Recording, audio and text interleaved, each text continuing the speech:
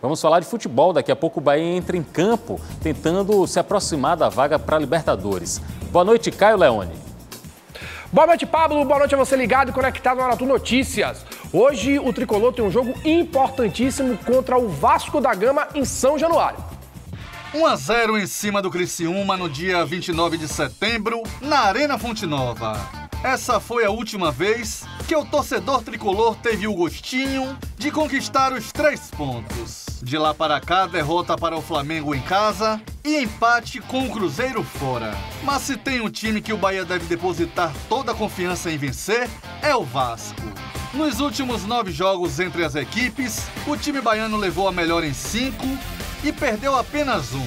Três partidas terminaram empatadas. No primeiro turno, em duelo na Fonte Nova, o esquadrão venceu por 2 a 1, com gols de Tassiano e Oscar Stupinhan, que hoje joga no futebol mexicano. Cotado para ser titular, o atacante Biel voltou a sentir a lombar e, por precaução, nem viajou para o Rio de Janeiro. O lateral direito Arias e o volante Caio Alexandre, que cumpriram suspensão no último jogo, retornam à equipe.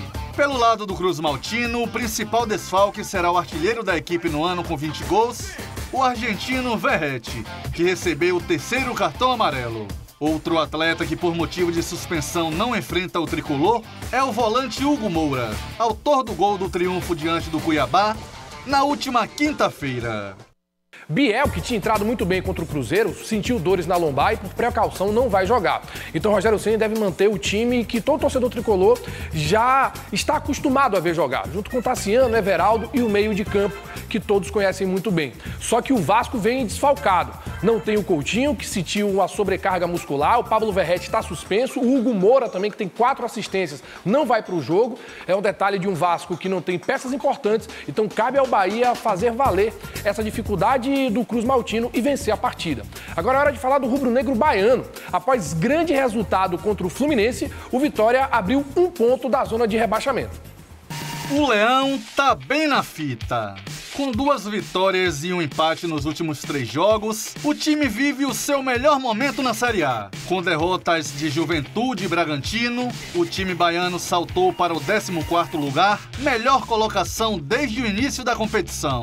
A vitória é incaível! A vitória não cai! A vitória não cai! Agora o rubro-negro está a dois pontos do Criciúma, 12º colocado, posição que leva à Copa Sul-Americana e a um ponto da zona de rebaixamento. Então hoje é um momento um pouquinho mais de, de calma, mas não de tranquilidade. Né? Nós precisamos conquistar ainda pontos que nos garantem o nosso objetivo final. Mas vale ressaltar que, que a gente hoje tem um grupo muito, muito comprometido.